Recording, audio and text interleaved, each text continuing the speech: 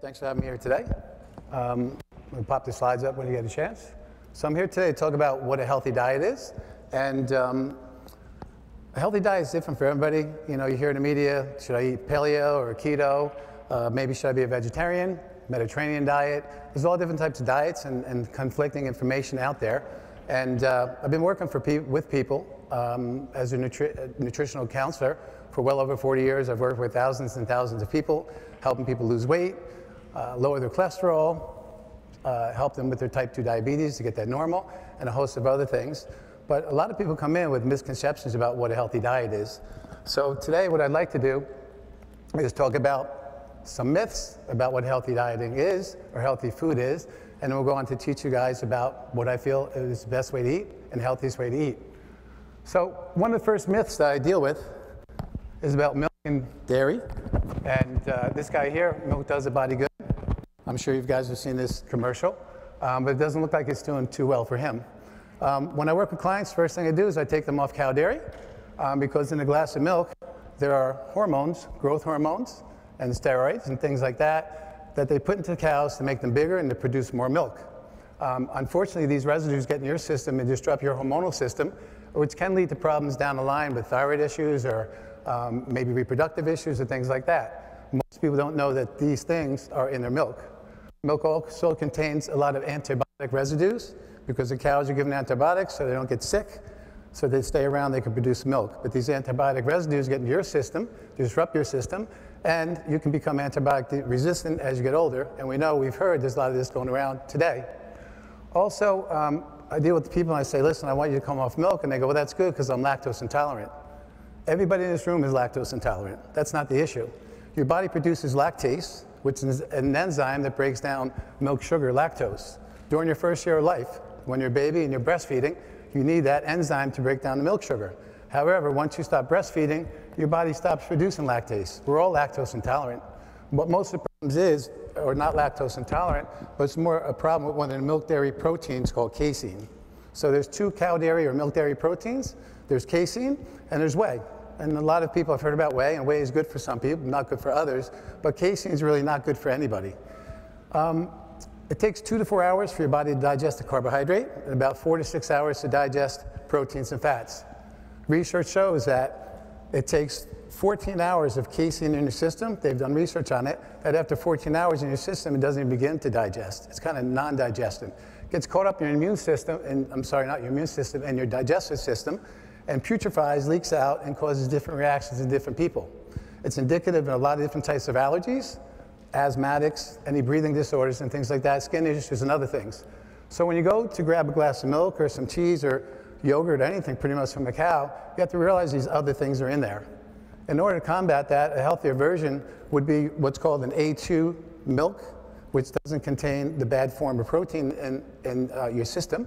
So we tell our clients if they want to, they have to look for A2 milk. It comes from cows that don't have a certain genetic mutation. And then also, if you can get organic, that'd be fine. Because if it's organic, you know there's no hormones, no antibiotics, and things like that that can harm you. So that's the first myth that we like to dispel. Next myth, which is kind of along the way with dairy, is everybody says, oh, they think Greek yogurt, yogurt is healthy for you. But Greek yogurt produced in the United States are from cows, which contain all the negative things we just discussed before. If you get Greek yogurt from Greece, it comes from a sheep or a goat, and it doesn't have any of the things that we just discussed in it. So if you're going to have Greek yogurt, make sure it's from Greek, or go with a goat's milk yogurt or sheep's milk yogurt produced here. If it's organic, it's even better because then you have no pesticides, herbicides, and all those other thing, things in there, hormones and all that. It's another common myth. Red meat is not good for you. Some people say it causes cancer. Some people say it produces high cholesterol. It all depends on the type of meat that you're eating. Most meat that's on the shelves these days are injected again with hormones to make the cows bigger, get into your system. They also are fed or injected antibiotics, which again, those residues get in your system and disrupt it. Some of it has food dyes, and it also come from cows that don't eat what they're naturally supposed to eat. Cows graze on grass, and the whole digestive system is based on eating grass. But the cows that are in the supermarket, and the meat you're getting, they're fed grains, and more specifically, genetically modified organism grains, which your body really can identify and digest. If you're going to have red meat, and it's good for some people, not good for others, you want to go with it grass-fed, grass-finished, antibiotic hormone-free. Those are the best type of red meat to have. Also, we have found out through our own research and other research done, there are certain types of people who do really well eating red meat. If you're an O blood type, red meat's super medicinal for you. Specifically, if it's clean meat that I was just telling you about, grass-fed. If you're an A blood type, you have the exact opposite reaction. Not good for you. You'll eat it, it'll bog you down, make it hard for you to digest, and make you tired and sluggish. So when it comes to red meat, is healthy for you or unhealthy for you? It depends on the type of meat and also on your blood type. Next thing I get a lot is eggs cause high cholesterol. According to Dr. Phil Berardi, a nutritional biochemist, he states that your body, everybody's body in this room, produces about 2,000 milligrams of cholesterol a day. According to the American Heart Association, they only want you to have 300 to 500 milligrams a day. So just your body's amount it produces alone should give you a heart attack. Now, if you eat 1,000 milligrams of cholesterol in your diet, your body will only produce 1,000. If you eat 1,500 milligrams of cholesterol in your diet, your body will only produce 500, trying to maintain that 1,000 milligram homeostasis. So it's the exact opposite of what we've been led to believe. People are always saying eating cholesterol is going to cause high cholesterol. Actually, the opposite's true. The more cholesterol you eat, your body will produce less. I've had clients, one client in specific, um, he um, had high cholesterol. His numbers were 280 to 340 on cholesterol, and they want you to be about 200. He was on to a cholesterol lowering drug for three years, and his cholesterol was still high. So he came in to see me. He wanted to lose weight and get healthy. So I went through everything, and I said, listen, we have to include some eggs and some clean red meat in your diet. And he goes, oh, no, I, I can't have that. My doctor said I'm not allowed to have it. It causes high cholesterol. I said, well, last three years, how much of that have you had? He goes, hardly at all. I said, that's causing your high cholesterol. How can it if you're not eating it? And it kind of struck a chord. I'm like, I'm not eating it. And he's telling me not to because it causes high cholesterol. So I said, listen, follow my program for six weeks, get a cholesterol test, and let's see the effect it has on your body. Six weeks later, he dropped like 25 pounds, feeling great, energetic, went got the test, came back, dropped 100 points of cholesterol in six weeks, eating in his diet eggs and red meat. It won't happen like that with everybody. It all depends, as I said before, on the type of blood type you have. But for his blood type, it worked wonders for him. Next myth I get, a lot of people think fats make you fat. What we know, what makes you fat, is a high insulin level. So insulin is a very powerful hormone. The higher levels are, and the more often you produce insulin, your body's going to stay in fat storage, and you become fat. When your body produces insulin, it only produces insulin, not only, but it produces a massive amount of insulin when you eat too many carbohydrates. So carbohydrates in high amounts will cause your body to go into fat storage. It will trip your hunger hormone, ghrelin, your fat storage hormone, leptin. It will make you tired, make you cranky, and all these negative things will happen from eating too many carbohydrates. It pushes you into fat storage, and at that point, once you release insulin, your body will not burn anything for energy except for sugar. So if you're eating a lot of carbohydrates, you're in a gym, trying to lose weight, trying to get healthy, and you eat a high carbohydrate diet, you think you're burning fat on a treadmill, all you're doing is just cleaning out that sugar, and the fat storage is staying there. So fats don't make you fat. Too many carbohydrates will, specifically if you've eaten healthy fats. Next myth I get, or dispel, is that beans are a protein or a good source of protein. So for every bean out there except for one, there are two to three grams of carbohydrates for every one gram of protein in beans. So it's more of a carbohydrate food. You have two to three grams of carbs, every gram of protein. So it's more of a carbohydrate food. You eat too many carbohydrates, you spill insulin. You spill insulin, your body's driven to fat storage.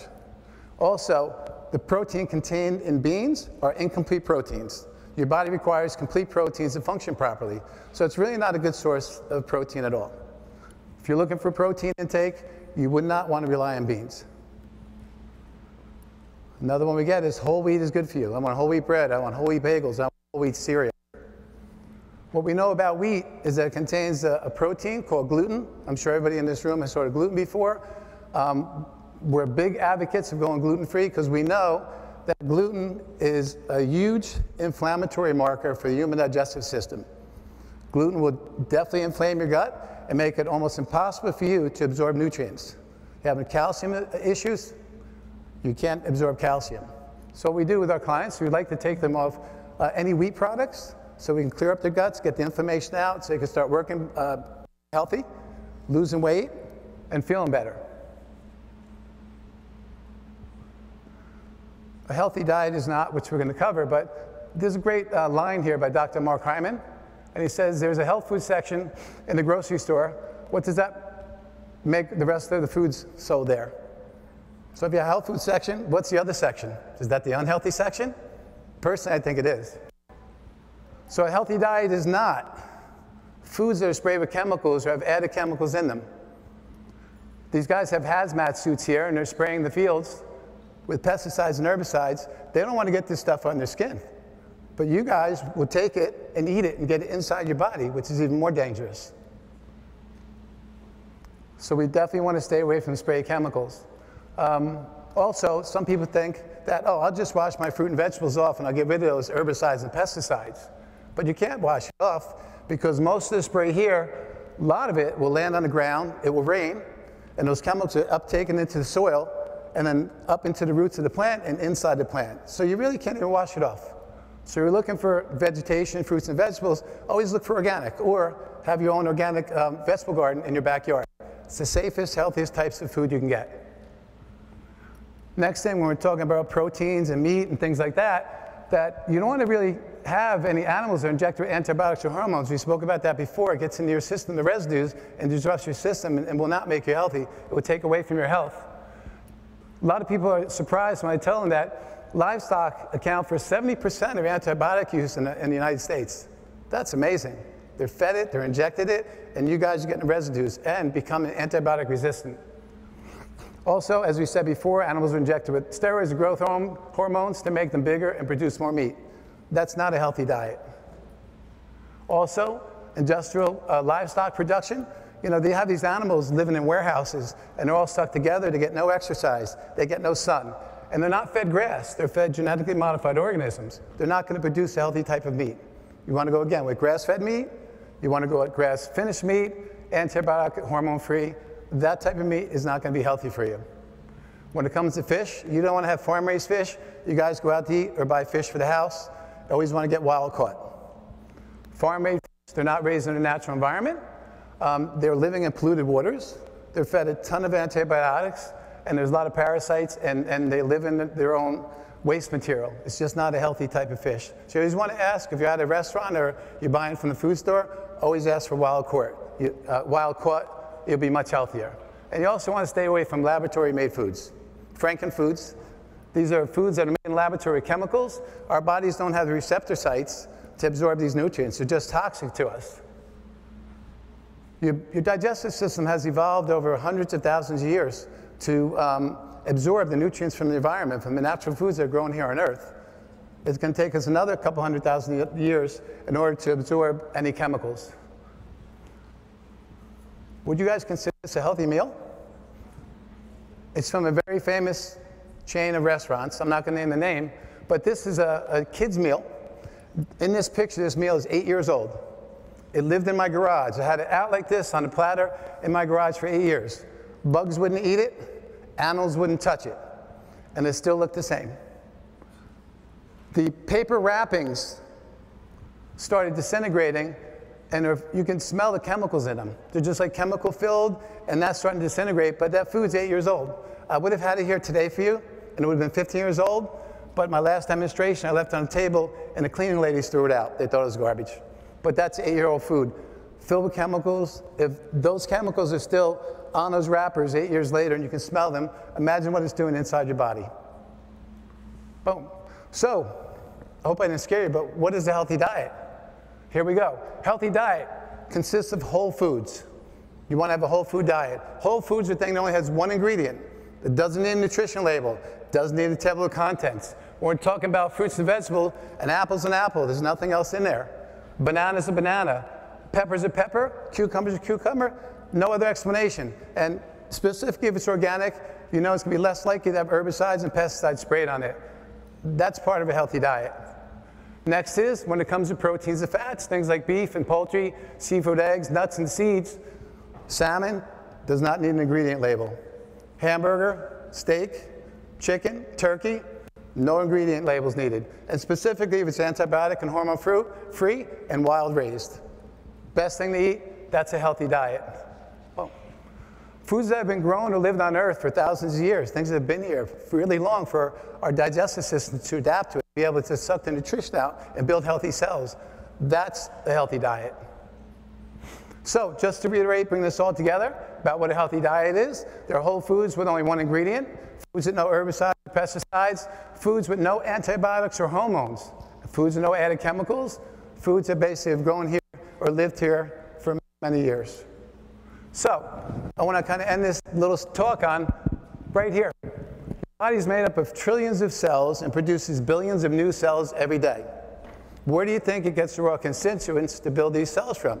It just doesn't grab something out of thin air and say, I'm going to make a, a new brain cell here. I'm just going to grab something out of thin and make a new immune system cell. It doesn't do that. It takes the material from the foods that you eat and builds new cells.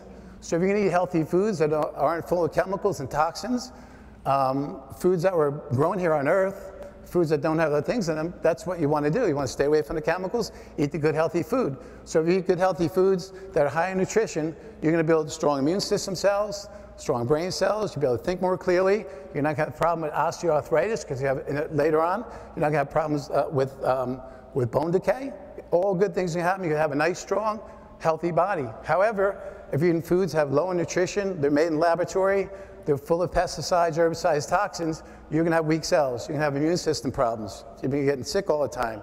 You have bone decay, tooth decay. You have trouble remembering things, fogginess. So you want to stick with good, healthy foods for that reason. And finally, and this with, my mother always told me, I know your mother's always told you, you are what you eat.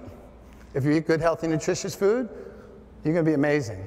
But if you eat food that's poisoned or weak, you're not going to be so amazing. So do yourself a favor, before you put anything in your mouth, think about it. Is this food going to make me stronger and healthier, or is it going to take away from my health? Thank you for listening.